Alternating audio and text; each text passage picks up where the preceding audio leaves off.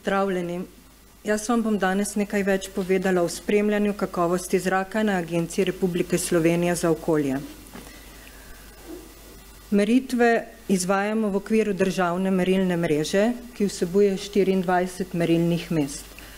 Merilna mesta so različnih tipov, od urbanih, ruralnih, primernih za oceno vegetacije, glede na vire, ki pa vplivajo na meritve na posameznem merilnem mestu, pa merilno mesto označimo kot prometno, industrijsko ali pa za meritve ozadja. Onesnaževala, ki se jih spremlja v naši merilni mreži so ozon, delci PM10 in PM2,5, dušikovi oksidi, žveplov dioksid, oglikov monoksid, benzen ter arzen, kadmi, svinec, nikelj, benzoopiren, ioni ter elementarni in organski oglik v delcih PM10.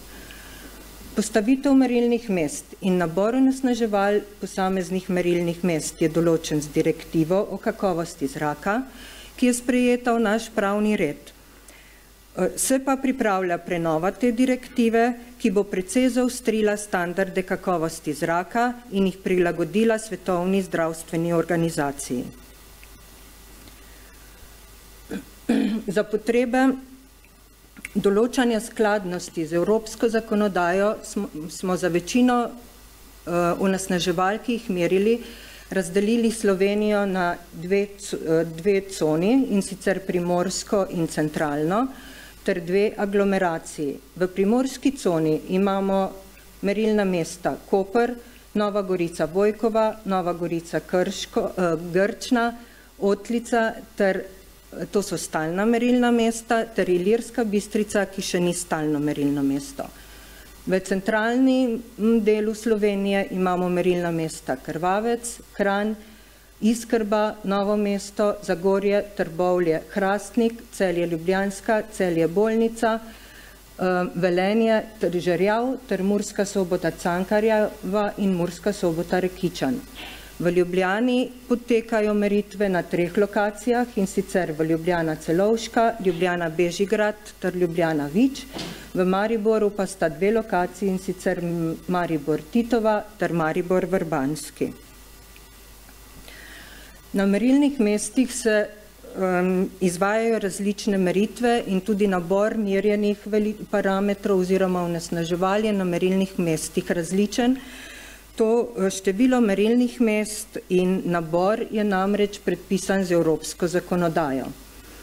Na vseh naših merilnih mest, skoraj na vseh naših merilnih mestih potekajo tudi meritve meteoroloških parametrov. Uh, največ meritev pa je za meritve ozona in, duš, uh, in delcev, ki sta trenutno najbolj problematični onesnaževali meritve žveplovega dioksida, ozona, dušikovih oksidov, oglikovega dioksida, benzena ter delcev potekajo z avtomatskimi merilniki uh, in podatki so na razpolago sproti.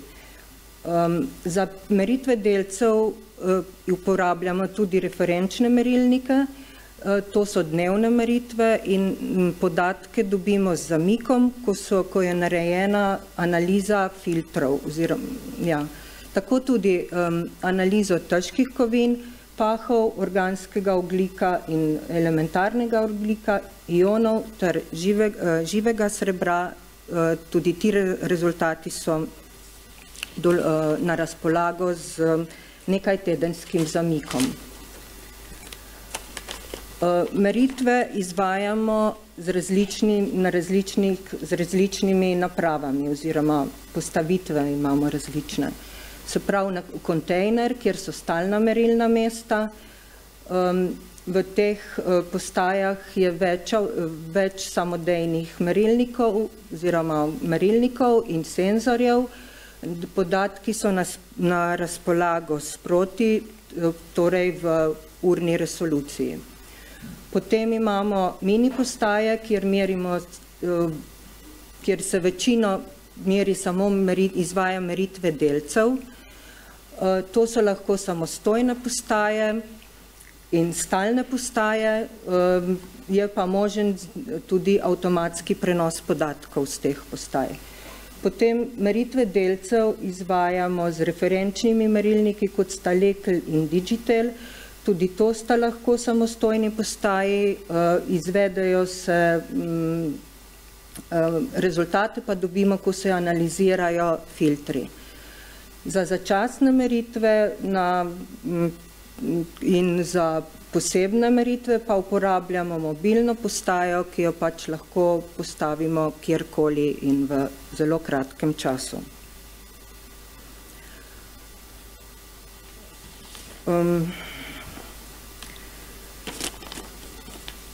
V projektu Lastovka pripravljamo razširitev stalnih merilnih mest in uvedbo novih meritev. Uvedene bodo nove meritve na stalnih merilnih mestih, to je v Škofji Loki, na Jesenicah, v Kamniku, Slovenj Gradcem, Krškem, na Ptuju in v Ilirski Bistrici pa meritve že potekajo, vendar bodo to postali stalni merilni mesti.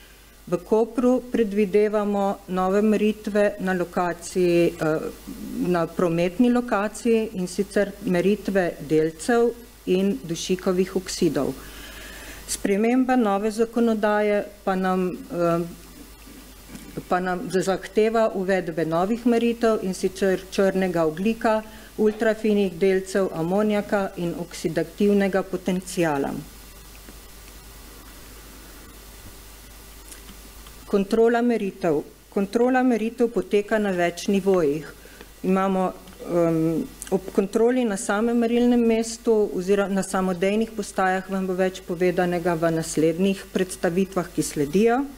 Jaz pa vam bom povedala nekaj več o kontroli podatkov kakovosti zraka.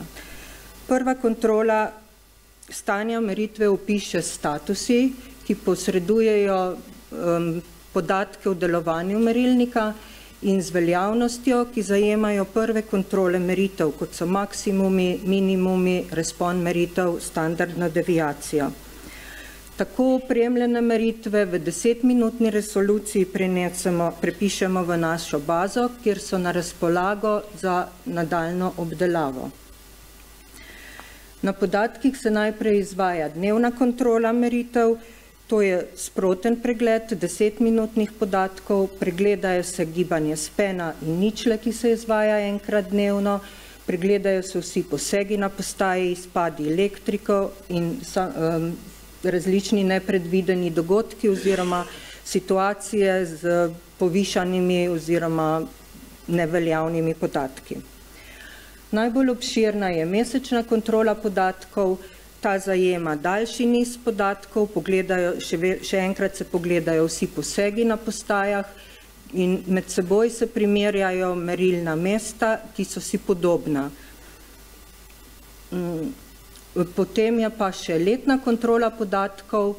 Letna kontrola podatkov pa je, pa pregledamo celoten letni niz podatkov, pregledamo izplen veljavnih podatkov, ki ga potrebujemo za pripravo poročil, potem pogledamo, primerjamo nize meritev, pogledamo vse posege na postajah, in ko je opravljena letna kontrola podatkov, so podatki dokončni in so pripravljeni za pripravo poročil.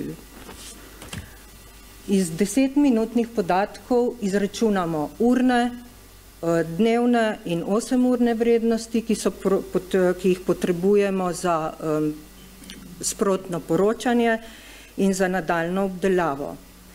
Vrednotenje merilnih meritev in izvedenih vrednosti pa je določeno standardi za izvajanje meritev kakovosti zraka in zakonodajo. Pri vrednotenju meritev pa ima še posebno težo strokovna ocena, to je poznavanje samih lokacij merilnih mest in poznavanje lastnosti posameznih onesnaževal. Seveda pa je pomembno tudi umirjanje merilnikov, ki se izvaja na terenu in v umirjevalnem laboratoriju na Arso. To je prikaz aplikacij za spremljanje podatkov kakovosti zraka, zgornja, zgornji prikaz prikazuje aplikacijo, ki se uporablja za kontrolo vseh samodejnih podatkov na Agenciji Republike Slovenije, zajema prikaz delovanja merilnika kot tudi samih velja, kot same veljavnosti podatkov. Na grafu je prikazan, so pokazane ravni oglikovega monoksida, visoke vrednosti sta dnevni kontroli spena in ničla, nekoliko povišane vrednosti pa, so, prikazu, pa nakazujejo za vpliv posega v bližnji okolici, to je bila recimo košnja. So pa ravni CO oglikovega monoksida na, v Sloveniji izredno nizke in tudi povsod drugot v Evropi. Se pa uporabljajo za pregled um, podatkov tudi tabele, in grafi.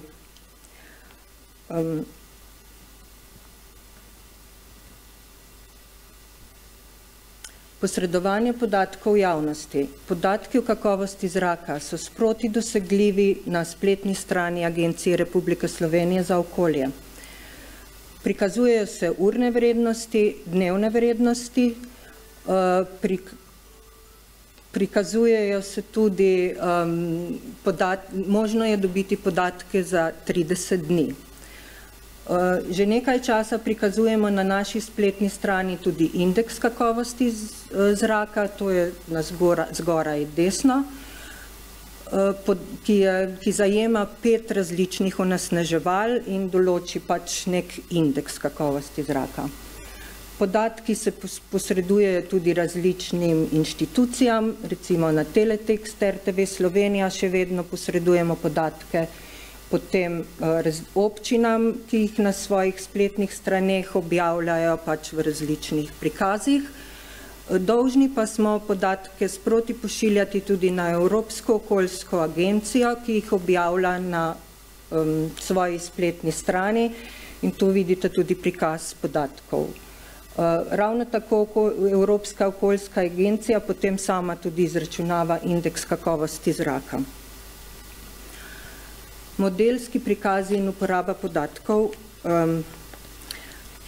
Modelski prikazi so, eh, uporabo podatkov o kakovosti zraka se uporabljajo na različne načine. Eh, uporabljamo jih za obveščanje javnosti, služijo za pripravo poročil, kot so vsako, vsak, vsak mesec se objavijo v eh, mesečnem biltenu Agencije Republike Slovenije, pripravi se letno poročilo o kakovosti zraka in pripravijo se eh, poročila o stanju okolja. Krati pa podatke posredujemo tudi na okoljsko Evropsko agencijo in na EMEP. Naše podatke uporabljajo tudi drugi, um, druge državne inštitucije, pa zdravstvene inštitucije, razne strokovne inštitucije za pripravo uh, poročil, za podporo pri odločanju, za pripravo por, uh, za vplive, oceno vplivov na zdravje. Ogromno pa je tudi novinarskih vprašanj in občanov, ki jih skrbi onesnažen zrak oziroma vpliv kakovosti zraka. Večja vloga, vse večja vloga pa je v, pri uporabi podatkov pa je v modeliranju. Mm, mi vsak dan na naši spletni strani prikazujemo modelsko napoved za ozon in za delce, za danes in za jutri. Eh, modelski izračuni se lahko uporabljajo tudi da se nadomesti posamezne meritve na mm, merilnem mestu. Eh, prikazuje, na spletni strani prikazujemo tudi indeks, mm, modelsko napoved indeksa eh, kakovosti zraka za dva dni.